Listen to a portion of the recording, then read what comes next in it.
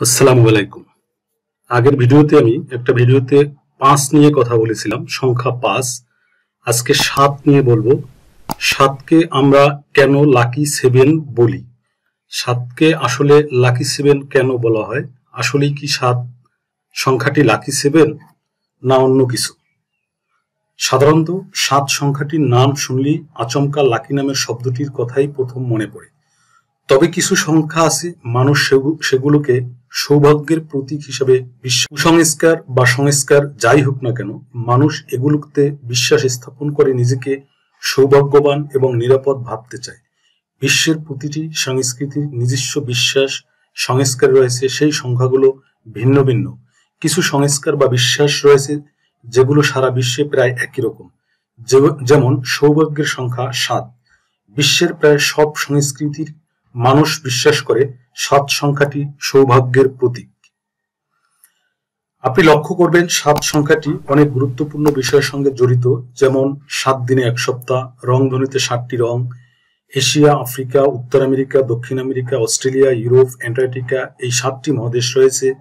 সাতটি, এছাড়াও রয়েছে প্রাচীন, মধ্যযুগের সাতটি বিস্ময়।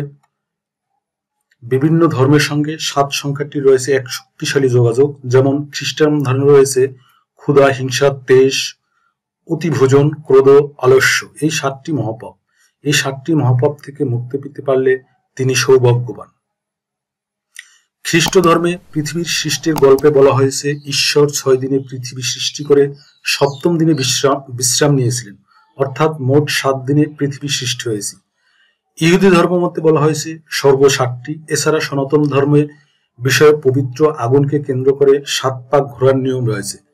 জাপানিজ সংস্কৃতিতে সমৃদ্ধ স্বাস্থ্য দীর্ঘ জীবন সৌভাগ্যের জন্য সাতজন লাকি গড রয়েছে।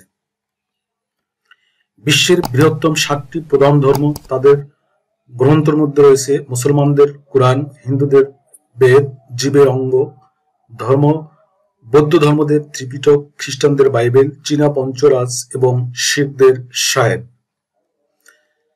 লাকি সেভেন নিয়ে অনেকেরই ধারণা, ইহুদি খ্রিস্টানরা সাতকে লাকি সেভেন বলে। কারণ জি বর্ণটি বর্ণমালার সপ্তম বর্ণ।